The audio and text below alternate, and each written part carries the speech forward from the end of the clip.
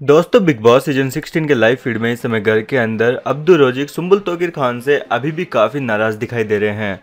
दरअसल दोस्तों, बीते हफ़्ते सुम्बुल तोकिर खान ने अब्दुल रोजी को नॉमिनेट कर दिया था, जिसकी वजह से कहीं ना कहीं अब्दुल रोजिक इस समय काफ़ी ज़्यादा नाराज़ है और अभी भी वो सुम्बुल तोकिर खान से बातचीत करने को तैयार नहीं है।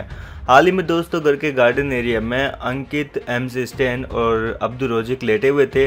इसी दौरान दोस्तों अंकित ने सुम्बुल को देखकर अब्दुल से कहा कि वो देख तुम्हारी सिस्टर आ गई है, तुम मुझसे बात नहीं करोगे क्या? और क्या तुम मुझसे प्यार नहीं करते? जिसके बाद दोस्तों अब्दुल ने साफ़ तौर पर मना कर दिया, कहा कि वो मेरी सिस्टर तो है, लेकिन मैं उससे बात नहीं करूँगा और मैं उससे प्यार भी नहीं करता। ये सुनकर दोस्तों सुम्बुल काफ़ी हैरान हो गई वहीं दोस्तों, हालाँकि सुम्बुल का दिल रखने के लिए अब्दुल ने सुम्बुल की ड्रेस की तारीफ़ की और कहा कि गुड क्लॉथ्स और सुम्बुल को सुनाई दिया कि शायद अब्दुल रोजिक ने उनको गेट लॉस्ट कहा है। और सुम्बुल आकर अब्दुल से पूछने लगी तो अब्दुल ने पहले तो कपड़ों की तारीफ़ की और बाद में कहा कि गेट लॉस्ट बिकॉज़ मैं तुमसे बात नहीं करना चाहता। ये सुनकर दोस्तों एम सी स्टेन और अंकित दोनों को हँसी आ गई तो कहीं ना कहीं सुम्बुल का चेहरा शर्म के मारे लटक गया।